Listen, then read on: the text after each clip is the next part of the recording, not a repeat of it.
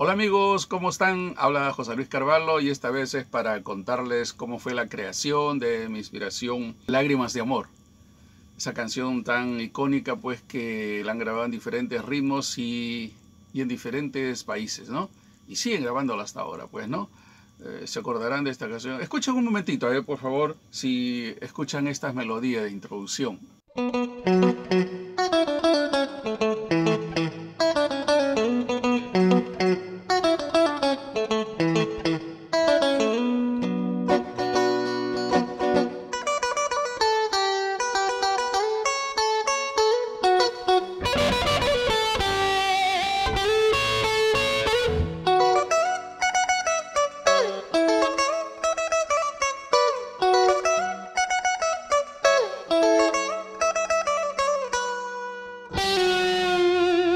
Esa es la introducción pues de la canción uh, Lágrimas de Amor que grabé con la nueva crema, ¿no? Cantando Chacalón.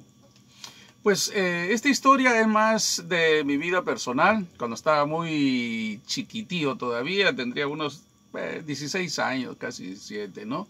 Aún estudiaba uh, mi escuela, ¿no? La educación secundaria todavía. Y, y me había enamorado de una chica, pues, ¿no?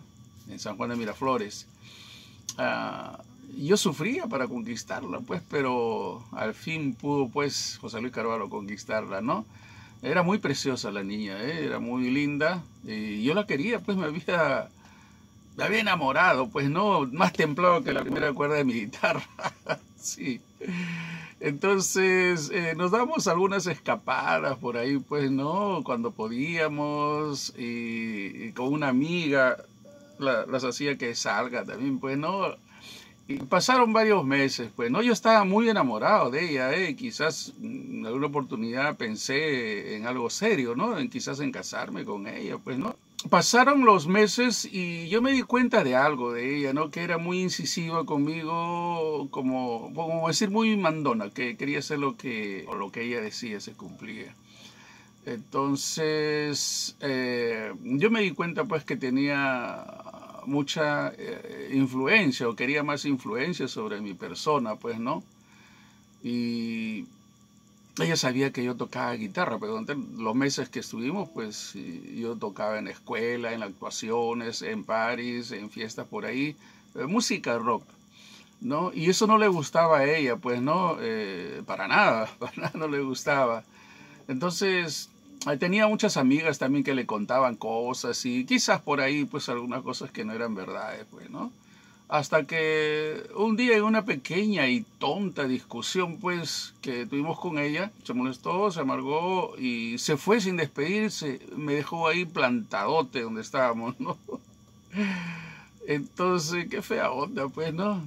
¿A quién le gusta que lo dejen plantado y se vaya la chica? Pues, ¿no? Bueno, pues pero como yo estaba tan enamorado de ella, pues eh, tuve que ir a buscarla a su casa, ¿no? Y ese día no, sino otro día, pues insistiéndole para que, para que regrese conmigo, pues, ¿no? Le dije a, a, un, a, a una de sus amigas, que era bien amiga mía también, yo, yo confiaba en ella, de que vaya y le diga, pues, que quiero hablar con ella, por favor, pues, ¿no? Que no se haga la loca.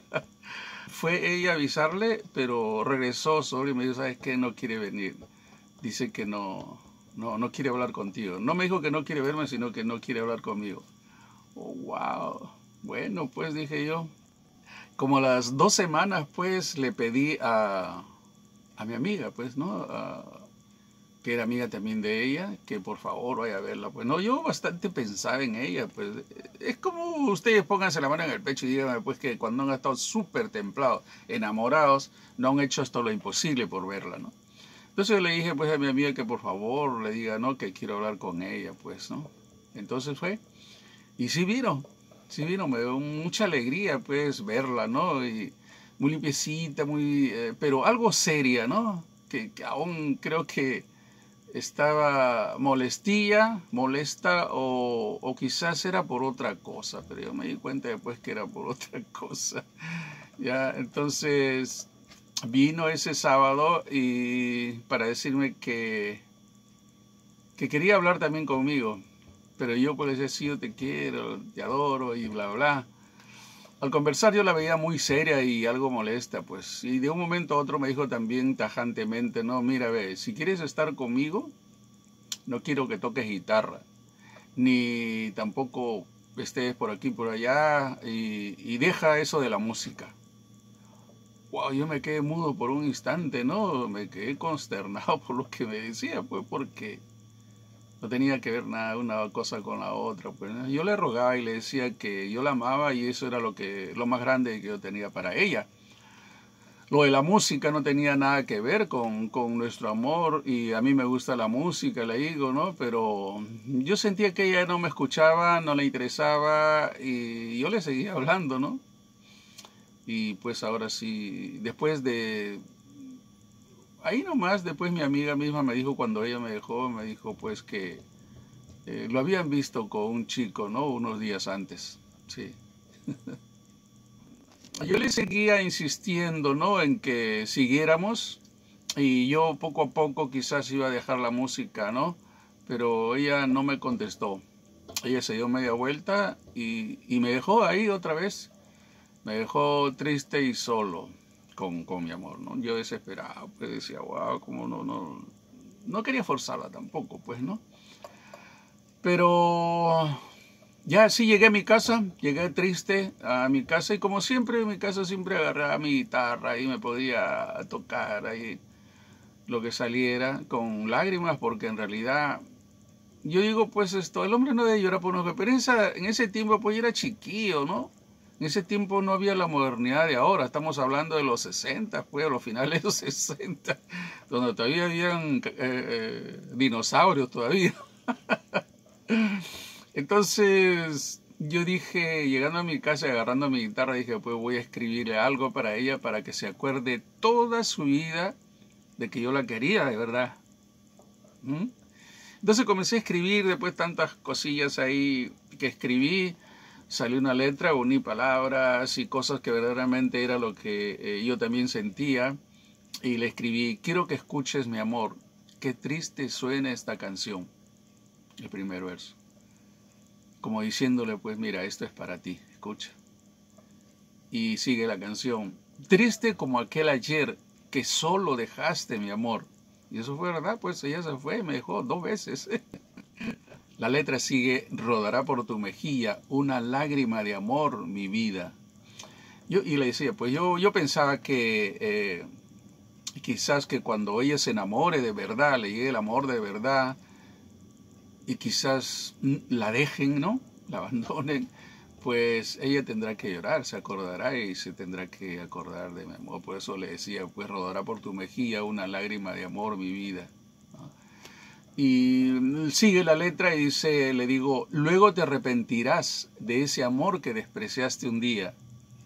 Pues sí, yo sabía que se, iba a acordar de mí, que, que, tanto que la quería, ¿no? Y le rogaba.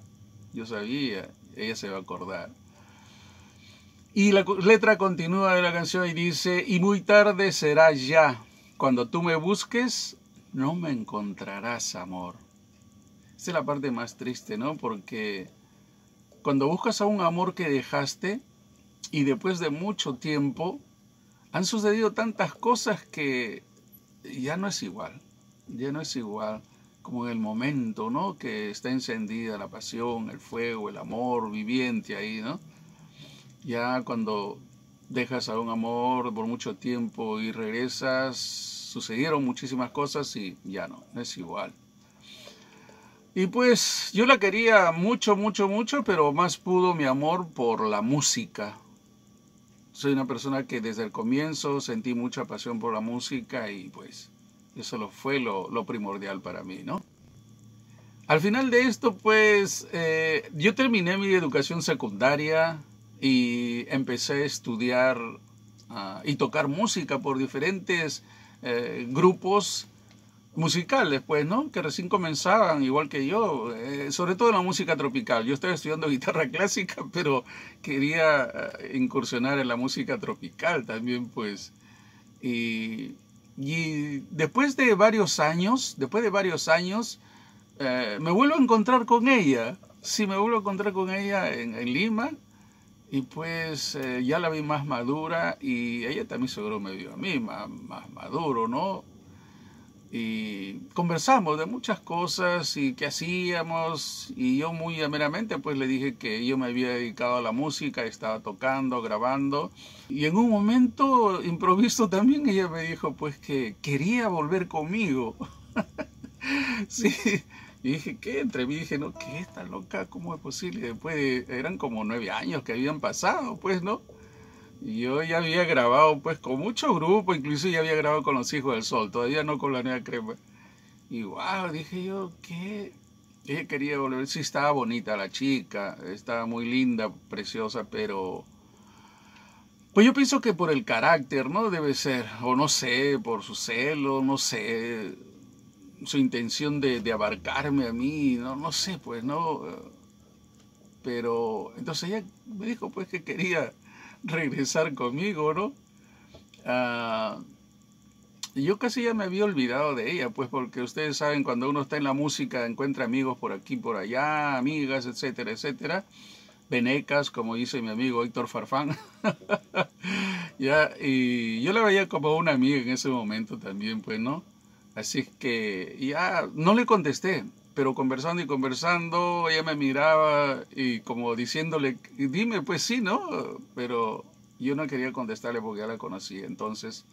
Y no me olvidaba también de lo que me dos veces me dejó plantado, bueno. Yo había cambiado ya, mucho tiempo había pasado, ¿no? Entonces le dije que la buscaría, la buscaría, iría a buscarla a su casa otro día, ¿no? Porque conocí y vivía todavía en esa misma casa. Entonces, eh, ya nos despedimos, y esta canción la grabé a unos meses después de haberla vuelto a ver, verla, a encontrarla. Esta canción la grabé con la nueva crema, ¿no? Una vez que salió el disco, lo envolví en un sobre y se lo envié a su casa. Esta canción, Lágrimas de y esa fue la última vez que conversamos y la última vez que la vi también a ella, ¿no?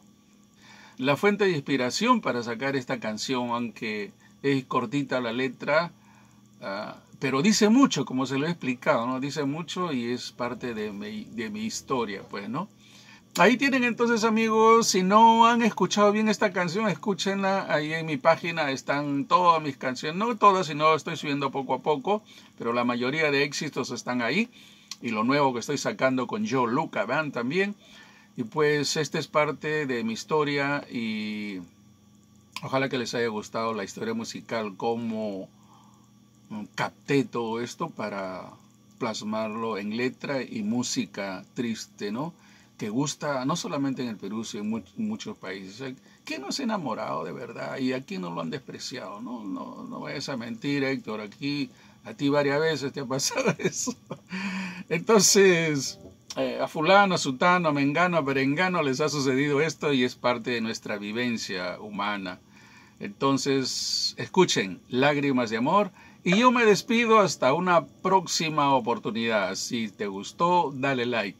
Bye bye, nos vemos. José Luis Carvalho, Yo Luca Band.